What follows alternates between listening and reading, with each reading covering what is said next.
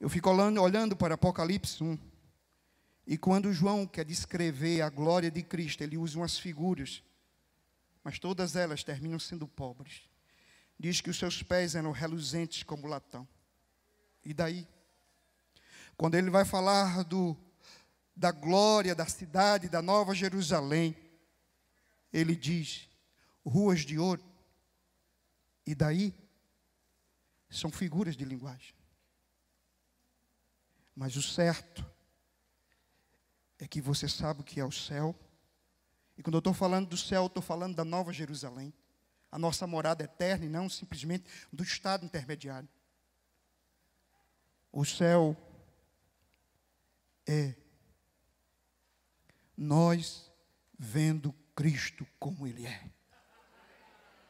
Ressurreto e glorificado. Mas eu tenho uma segunda notícia sobre o que é o céu. É que nós seremos como Ele é. Você pode especular, e quando as pessoas especulam sobre teologia, sobre escatologia, elas perguntam basicamente: será que vai ter casamento no céu? E se vai ter casamento, e se aqueles que têm duas mulheres vão ficar com a primeira ou a segunda? Que tiveram duas mulheres, uma morreu, depois casou de novo. E aí outros perguntam: a gente vai se lembrar de quem não chegou lá? E outros dizem: a gente vai se conhecer, se reconhecer? E ouça, todas essas questões serão resolvidas. E tem gente que diz: quando eu chegar no céu, eu quero saber o que é que Jesus escreveu no chão. Quando você chegar no céu, você não vai querer saber nada disso. Porque quando você chegar no céu, você vai olhar para Jesus, e quando você o contemplar na sua glória, você vai dizer: Eu estou no céu. Isso é o céu. Mas quando você se olhar e se lembrar que foi incorruptível e que você estava fadado à condenação do eterno e contemplar todas as maravilhas e todas as boas dádivas e todas as glórias celestiais e olhar para o seu corpo glorificado, não é que você será um Deus como Jesus, não. Você será uma criatura e agora um filho glorificado. E você olhar para si e você olhar para o seu irmão e perceber a glória e a perfeição da nova vida vida, aí você vai dizer: Isso é o céu, eu sou como Jesus. E é somente aí que algumas coisas vão se resolver.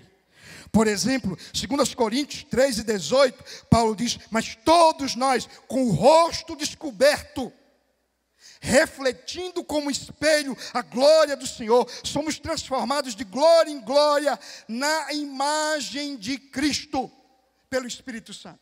Ele está fazendo uma comparação entre a nova dispensação e a velha, o tempo de Moisés e agora o tempo de Cristo. E ele está dizendo: antes o rosto estava coberto, agora está descoberto. Estamos sendo transformados de glória em glória até chegar à imagem mas, meus irmãos, isso tudo é um processo, mas é no céu que tudo será descoberto e nós seremos segundo a imagem de Cristo. Colossenses 3 e 4, quando Cristo, que é a nova vida, se manifestar, a nova vida se manifestar, também vós, também vos manifestareis com Ele em glória.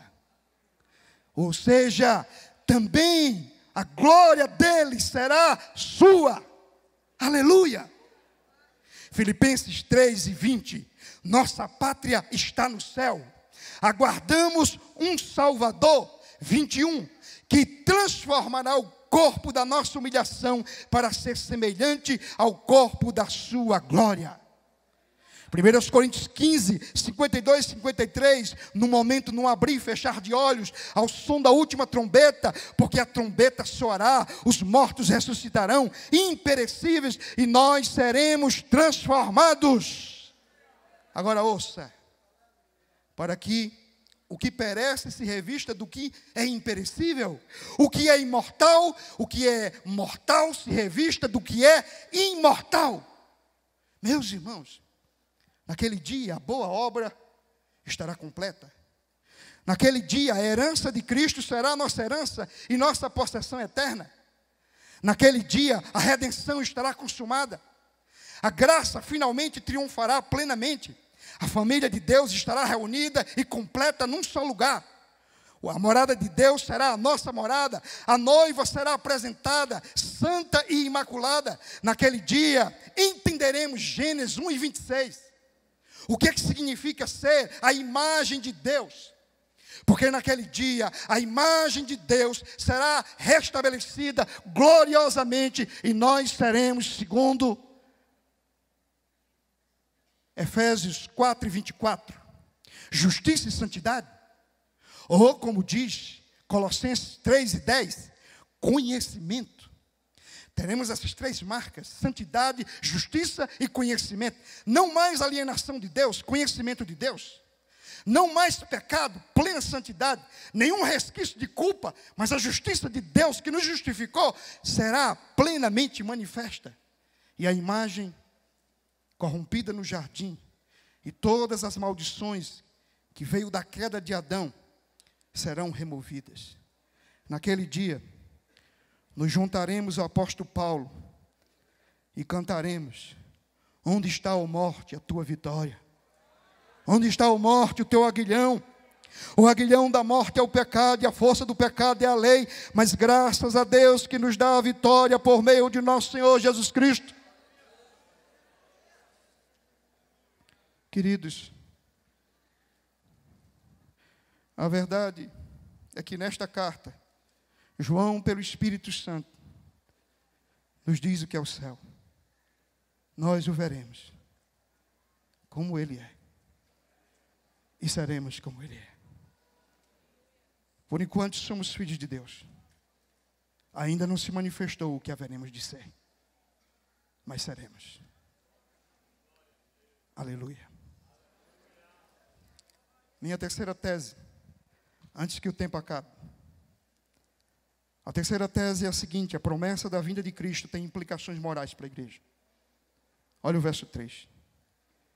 E todo que tem nele essa esperança, purifica a si mesmo. Purifica a si mesmo, assim como ele é puro. Amém. Amém. Deixa eu perguntar. Você entendeu o que você leu na primeira parte? Todo que tem nele essa esperança. A minha pergunta é: você tem essa esperança? Você tem essa esperança? Deixa eu dizer uma coisa. De acordo com esse texto, se você tem essa esperança, ela precisa se evidenciar de quatro maneiras, e eu vou só citar. Em primeiro lugar, a esperança do, do céu é algo que se pode explicar nas Escrituras. João diz: sabemos que quando ele se manifestar, seremos como ele é, veremos a ele como ele é.